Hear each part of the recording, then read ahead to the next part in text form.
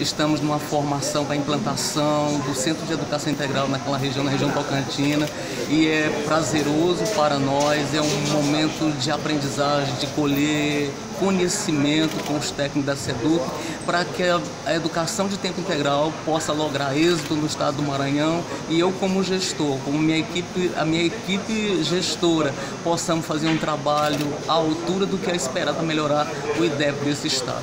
A procura na Imperatriz, nós tivemos uma disponibilidade de 160 vagas que foram todas preenchidas. Temos uma lista de excedentes enorme para primeiro ano e com certeza vão ser também é, matriculados, não vão ficar sem estudar.